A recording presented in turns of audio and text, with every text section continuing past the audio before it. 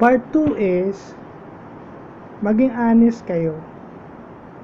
Part 2 ng social amelioration, uh, mental social amelioration. Maging honest kayo dun sa kausap nyo at dun sa kinakausap nyo. At saka, one thing is, maging honest kayo sa social media nyo. Yun yun.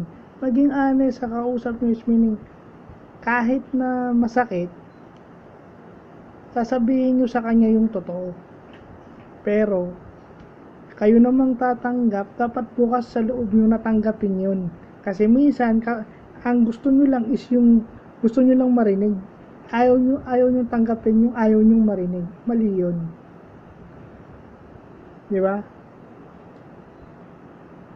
Kagaya nung kanina, di ba? Ako, nakakaranas ako nun. Sinabi mo nang wala akong ano, wala akong lagnat lalapit, check pa talaga. Yung mga ganun ba, nagsabi ka na eh. Ano ba naman mga pala mo kung lulukohin ka, di ba? Uh, may mga pala ba ako, magsisinungaling ako, di ba? Yung mga ganun. Maging honest kayo hanggat maaari, tsaka kahit masakit, sabihin nyo at kayo, tumangtanggap kayo. Kasi minsan yung mga pagkakamali nyo, kaya kayo nahihirapan, dahil sa mga pagkakamali nyo rin na ginagawa. Kaya sa social media naman, course, may privacy. I-post nyo lang yung dapat. I-post nyo lang yung dapat i-post. And then yung, yung ayaw nyo, eh, respetuhin naman ng tao yun. Ibig sabihin, post what is needed to be post. And then yung mga personal na details, kung alam nyo kung marunong kayo mag-handle at itago, i, itago yun for the right reasons, respetuhin ng tao yan. Maiintindihan ng tao kung bakit kailangan nyo itago. Di ba? Hindi yung magpo-post kayo and then kapag ka binira yung mga post nyo because of dishonesty, biglang sasabihin nyo ayaw nyo nang magano mag social media. E tinatamaan kayo ng ganun eh. Remember, ngayon sa panahon na to, meron tayong tinatawag na digital identity. Yun yung sa social media. Mirror na yun mirror na yun ng ating ano nowadays it is a mirror of ourselves. So kung hindi ka magiging honest doon para ka na rin hindi naging honest in real life. Of course there's no substitute for for face to face communication. Nandun na ako. Kaya nga di ba kung nakita nyo nag-post yun, hayaan nyo muna siyang magano, tsaka, tsaka nyo siya lapitan unti-unti. Hindi yung mag engage kayo sa ganito, mag, alam nyo ba kung bakit nagbibigay ng ganun yun?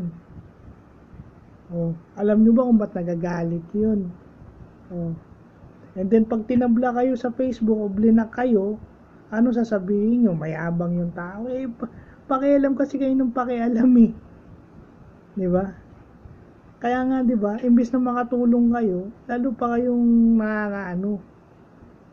Kasi there are so many ways of how people is coping up. Hindi porket nakita at nag-viral.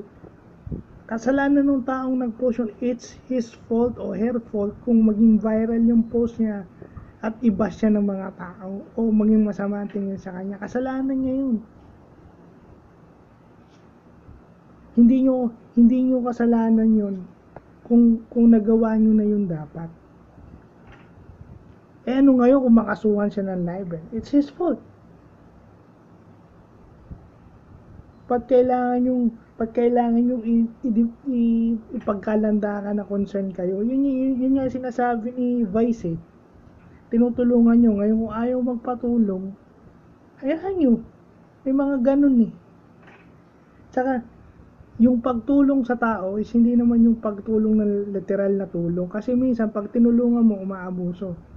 Kaya nga ngayon, yung cash landing on you, at saka sa Itbulaga at saka yung Madlang People sa It's Showtime. Nakaka ano yun? Nakakatulong yun to ease yung yung mental burden ng mga tao lalo na pag sila nananalo. Kasi ano usual na sinasabi pangbabayad nila sa bills. So ibig sabihin pag binabayaran nila yung bills nababawasan yung kanilang ano yung kanilang stress. Hindi sila magalit. At saka sa madlang people saka doon sa cash landing on you nag enjoy sila pag nanonood sa ng TV, isang pamilya sila, nag enjoy sila, di ba? Eh lalo ba naman si, si Vice Ganda ba naman eh, magbitaw ng joke na ikatutuwa ng marami. Pero hindi naman parati. Yung mga joke niya kasi is medyo ano rin minsan eh. Di ba? Mga ganun. Tsaka, ayun yun eh. Pakausap nyo. Di ba? Kaya nga lagi ko sinasabi, huwag tayo maging shock absorber kung tayo mismo nahihirapan. Kasi may tendency na tayo rin napupuno. Imbis na tayo yung mag-uplift, tayo na ngayon yung tinutulungan. Eh, pangit yun. Yun ang ating iiwasan. Okay, tumulong, pero tumulong na nasa lugar. Hindi yung tulong na sobra-sobra na ikaw na mismo yung na, napeperwisyo. At doon sa mga tao naman na tinutulungan, matuto naman kayong mahiya.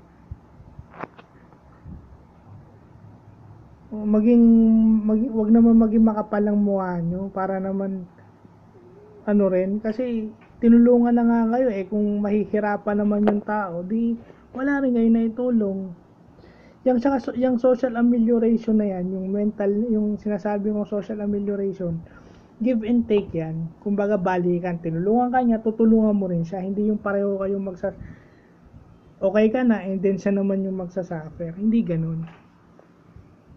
Tsaka huwag kayong maging konsentidor. Pag alam nyong mali, mali. yung konsentin nyo rin eh. Hmm. Tapos wag kayong mag wag kayong magsasalita ng mga bagay na bibi, yung mga words na bibitawan nyo and then makikita ng ibang tao sa inyo o kahit na mga kamag-anakan nyo na na hindi naman kayo yung sinasabi nyo kayo. Never, never say a word na hindi nyo, na hindi nakikita sa inyo. Kasi baka ibalik sa inyo. Once magkaroon sila ng opportunity at masakit yun. Sakit yun. Kaya golden rule, kung ayaw mong gawin sa'yo, huwag mong gawin sa iba. Tsaka kung ayaw mo na, wag ka magbitaw ng word na ganun, na akala mo ganun ka and then makikita ng iba, hindi mo naman maluloko yung ibang tao eh. Di ba? So, yun lang po. Wag mong gawin sa'yo yung ayaw mong, wag mong gawin sa iba yung ayaw mong gawin sa'yo and never said a word na hindi mo kayang gawin or hindi naman ikaw yung description. Oh. Kasi any one of us is maaring wala sa lugar. Wala, walang taong laging nasa lugar anytime. Minsan na out of line tayo. So yun yung kailangan nating makita. Hindi porket mas matanda ka, tama ka na. At hindi porket mas bata ka, nasa tama ka lagi. At hindi lahat ng tama alam mo. So yun lang po.